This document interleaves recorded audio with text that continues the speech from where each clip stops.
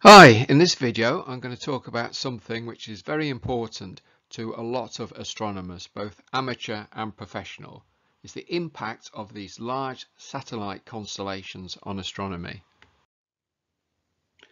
In 2019, pictures such as these became commonplace. It shows a train of satellites crossing the field of view. 60 satellites were in this train at an altitude of 300 kilometers in time, the train disperses and the satellites move into their higher orbits. The satellites formed part of a large constellation of low Earth orbit satellites to deliver a fast internet service across the globe. In the UK, the service is currently available as a beta test. It costs £500 setup fee. This is to buy a small dish and all the associated equipment that goes with it and £90 per month. So it's relatively expensive compared to standard broadband. There are no data caps. The service advertise unlimited usage, fast latency times as low as 20 milliseconds, download speeds of 100 to 200 megabits per second and uploads of around 20 megabits per second. And obviously such figures will improve as the network grows. And this could be pretty big. It could be as big as rebuilding the entire internet in space. Okay, well, here's some numbers. Um, there are just over 2200 satellites in orbit as of making this video. Um, 243 have failed or have been deorbited. In fact, most of the satellites launched in 29 were actually test versions which have been deliberately deorbited. Um, when the SpaceX Starship comes along, it'll be able to launch an incredible 400 satellites in one go. And approval has been given by the ITU for 12,000 satellites. And um, incredibly, um, Starlink are seeking approval for an extra 30,000 satellites. So to put these numbers in perspective, in the 65 years since the start of the space age with the launch of Sputnik 1, 12,500 satellites have been put into orbit and roughly 8,000 of these are still in space. Um, 5,000 are still functioning. So if that number includes 2,000 Starlink satellites, 40% of the satellites functioning in orbit are Starlink satellites. That's an incredibly high number. So we're really talking about a step change here. And of course, um, SpaceX with their Starlink satellite constellation aren't the pl only player here. Other operators include Telesat, Amazon with their Project Kuiper, and uh, the British company OneWeb, which I'll talk about next. Well, um, Telesat are a Canadian company which has a constellation of 298 low Earth orbit satellites, so a bit smaller than Starlink, quite a bit smaller, but they're looking to expand this to at least 800 satellites in the near future. Well, Project Kuiper, which is owned by Amazon, um, a little bit again behind Starlink, they have authorization to launch over 3,000 satellites into low Earth orbit. Um, they haven't launched any so far, but they have the muscle of Amazon behind them, who have already promised to invest over $10 billion into this project. OneWeb are a British company which went bankrupt in March 2020 at the start of the COVID pandemic. They exited bankruptcy in November of the same year and are currently partially owned by the UK government. They currently have 394 satellites in orbit. Again, they're much smaller than Starlink. And their other difference is their market is primarily to businesses and governments, which of course includes defence phone network operators and clusters of communities rather than individual domestic companies. Well, these companies are all in um, competition to, to some extent with each other, SpaceX recently won a judgment which enabled it to lower its altitude of its next batch of satellites from 1150 down to 550 kilometers, which is roughly the same altitude as Amazon's um, Kuiper constellation. Um, the FCC, in its judgment, decided that lowering the orbits um, didn't create significant interference problems and enabled SpaceX to do things like more quickly deorbit the dead or broken satellites to a fiery end in the Earth's atmosphere.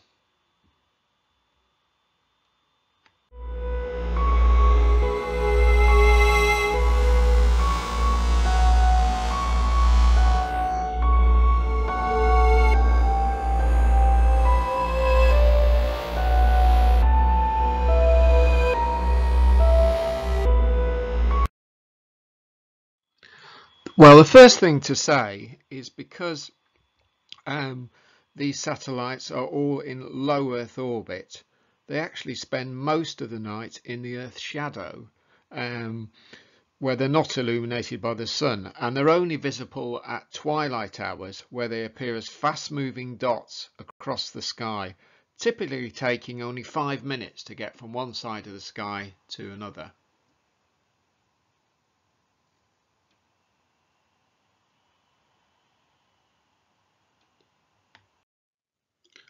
There's a number of factors that affect the brightness of a satellite.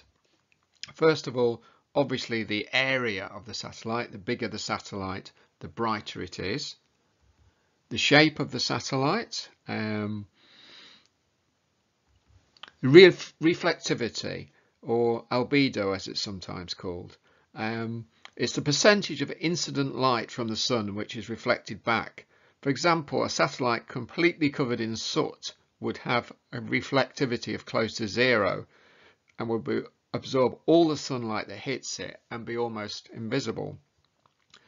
An albedo of 1 at the other extreme means that all the sunlight that hits the satellite is reflected back.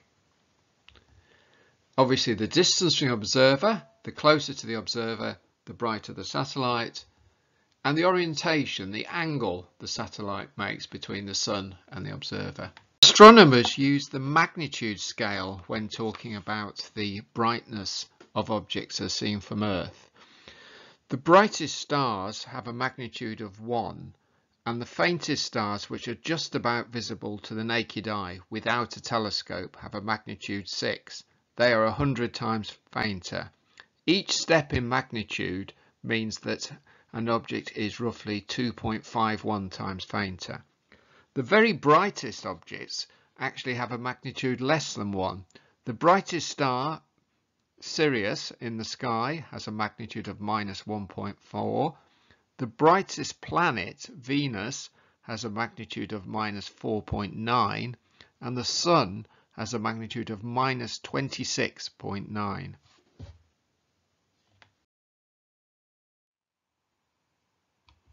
Here's a link to a paper by the astronomer Anthony Mallama published in uh, 2021 who measured the brightness of Starlink satellites. He came out with a figure of 5.92 which means that these satellites are only just about visible to the naked eye which is what Starlink and these other companies are aiming at. Um, this is good news. It's actually 1.3 times 1.3 magnitudes fainter than the earlier satellites which didn't have a visor attached to them. However, a couple of caveats. Um, this is a mean and for a given orientation 5% of satellites had a maximum magnitude between plus 4 and plus 5 so they would have been easily visible to the naked eye. And the other thing is there's a large and ever increasing number of these satellites so even if we've only got 5% of these visible to the naked eye, 5% of a large number is quite a large number. Well, while I was researching for this video, I spoke to a number of fellow amateur astronomers and um, the general consensus is existing image processing software can reject bad pixels caused by satellite tracks. The number of satellite tracks appearing in images captured around them morning and evening twilight will obviously increase over the next decades because there's going to be more of these low Earth orbit satellites.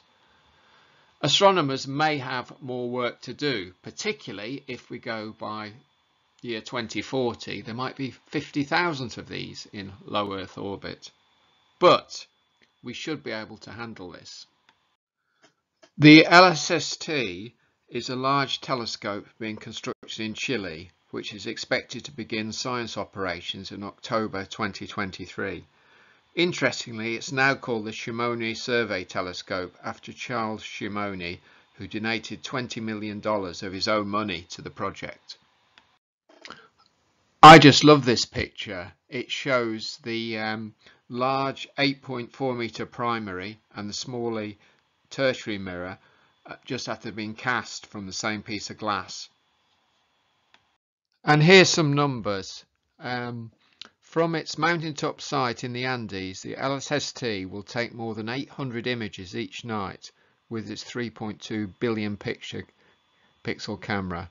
It can re record the entire visible sky twice each week. So each patch of sky images will be visited 1,000 times over the lifetime of the survey. But because of its um, large field of view and its sensitive detectors, the LSST may be particularly badly affected by the proliferation of low Earth orbit satellites, perhaps even uniquely badly affected. And here's a statement from the um, Vera Rubin Observatory to effect. This is a small extract from it. The full statement is available at the link shown below.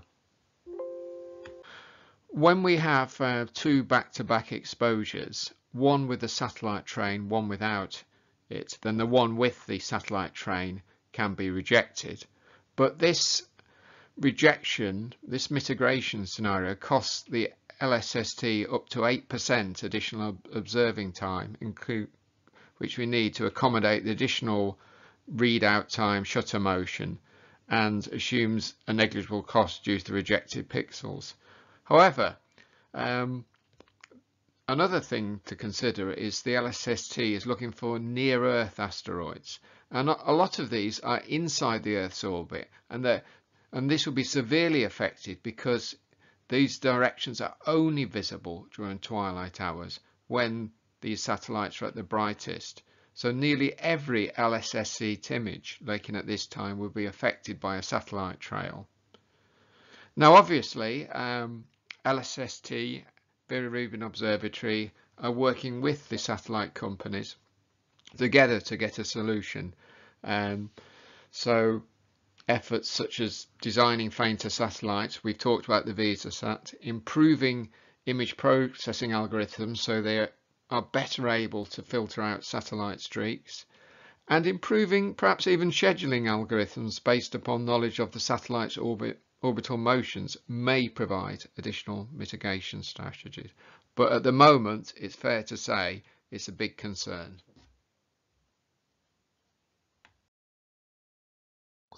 Obviously, because these satellites are transmitting at radio frequencies, there's going to be an impact on radio astronomy. Radio astronomy normally takes place in protected bands for example, the 21 centimeter hydrogen line, the OH line, and a higher frequency line used for water vapor observations. And satellites can't transmit in these frequencies. So this shows the um, frequencies which Starlink have asked for, and these aren't in any protected bands. So there shouldn't be any impact providing radio astronomers observe in their protected bands. However, Radio astronomers can observe and do observe at frequencies outside the protected bands as radio telescopes are usually located in radio quiet zones. But in the future, there may not be any radio quiet zones anywhere with these satellites being in space. And there's the also the possibility of interference with observations. And maybe we'll move to a stage where it's impossible to do any radio astronomy outside the protected bands. There's a lot that's uncertain at the moment with the um, proliferation of satellites over the next 10 years. So I'll leave the final word with Tony Beasley, who's director of the National Radio Astronomy Observatory. And on a final note, there is a demand for cheap and fast internet across the world, including remote areas which just don't have the fixed line infrastructure. But probably the most important thing at all, there's a lot of money to be made, as I'll show in the next slide.